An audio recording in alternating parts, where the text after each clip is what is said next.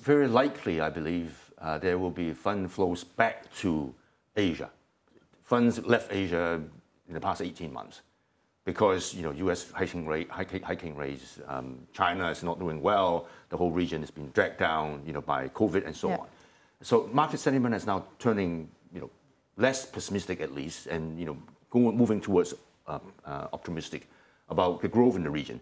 We do believe that Asia growth is going to outperform developed market growth at least for this year. So based on that improvement in fundamentals, fund flows, I believe, will come back to Asia, benefits regional markets, and China, again, is a big positive factor in attracting fund flows back to the region. So there's a lot of positive, positive expectation for the fund flows to Asia during this year. I, I believe so. The economic uh, uh, benefits are going to help fund flows come back here. Now, specifically to Asia and Southeast Asia region and Indonesia, obviously, how do you see the positioning and the attractiveness of Southeast Asia's region financial market compared to other peer countries in, let's say, ASEAN?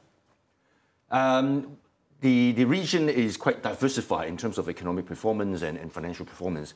Uh, we have to look at you know, the um, economic fundamentals of each market.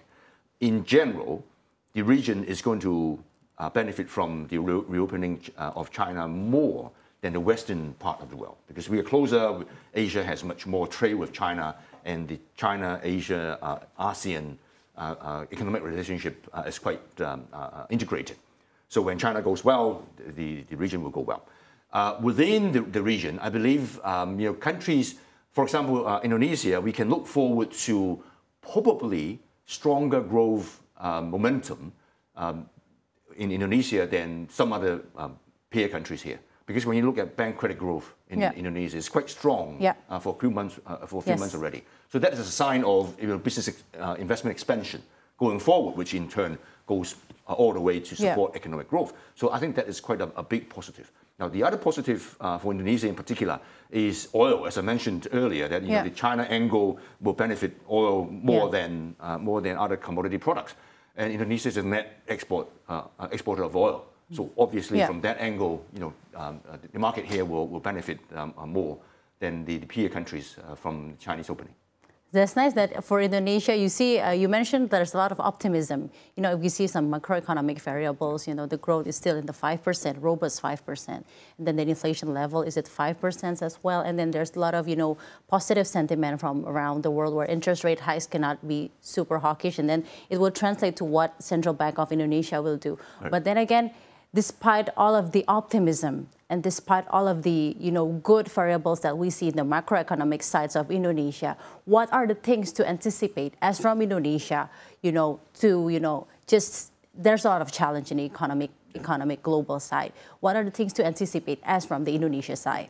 Well, internationally, I think the, the, the, the thing that Indonesia or the region uh, has to monitor is the change in the uh, central bank policy, you know, in, in, the developed markets. Right now, everybody is expecting peaking of uh, interest rate hikes yeah. by the central banks. But what about if the market is wrong? What about yeah. inflation comes back up again? Up again. So then the, the positive angles that we talked about earlier could reverse quickly, and then money can get out of the region out. again. But that that is not the, the, the base case right now. Uh, we are also looking at you know gradual improvement.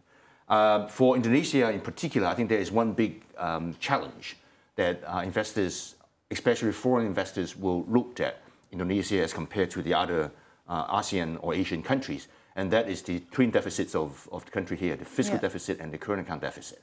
Um, that is you know, not a very strong economic fundamentals to attract funds, uh, at least not as the first destination for uh, foreign investors to mm -hmm. look at. Yeah. But then that is one fundamental factor. And we have to square that with the other fundamental factors like you know, better growth uh, prospects and, yeah. and, and so on. You know, Uh, uh, um, uh, other, other fundamentals. So on the whole, I think Indonesia compares quite well with the peers in, in the region. Um, and the, the, the, oil angle, I think it, it really plays into Indonesia's advantage. But yeah, um, thank you so much for the optimism, you know, especially for Indonesian economy. But Mr. Chi, if, um, if I'm trying to, you know, grasping a lot of policy for the Fed, the interest rate hikes, you know, um, the inflation rate in the United States is still at the level of 6.5%, but they have this target on, you know, putting the, the inflation right in the level of 2%. Yep. But the people, the market already expecting a lot of interest rate cut Yeah. So what do you think about the expectation of it? Do you see the terminal rate of the, the fund rate, or it's going to be, there's a lot of adjustment going on as we see the inflation is still far away from 2%? Well, as, as things stand right now, I think the, the Fed funds terminal rate is around 5%, which is what the market expects. Now, it's, it's, it is true that US, uh, US inflation and Europe inflation for the same uh, reason is It's coming down. yeah. So the, the direction of inflation movement is correct.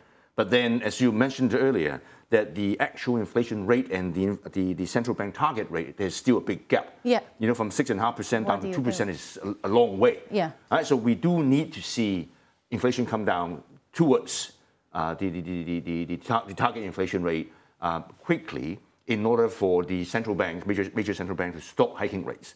So if they come down only gradually, then what we can expect is that there's still going to be rate hikes, but smaller, not so frequent rate hikes until the actual Smaller, inflation. but not so frequent Yeah. rate hike. So like um, last year, the, the Fed hiked by hiked by 75 basis point each time, but now we are looking at 50, 25 uh, uh, basis point hike each but time. the terminal so- is still 5%. terminal is still around 5%. So, you know, Fed funds rate, you know, movement from currently, uh, the real Fed funds, Fed funds rate is still less than 4%. So we need to see the real Fed funds rate go back up to the long-term average, which is about 1%.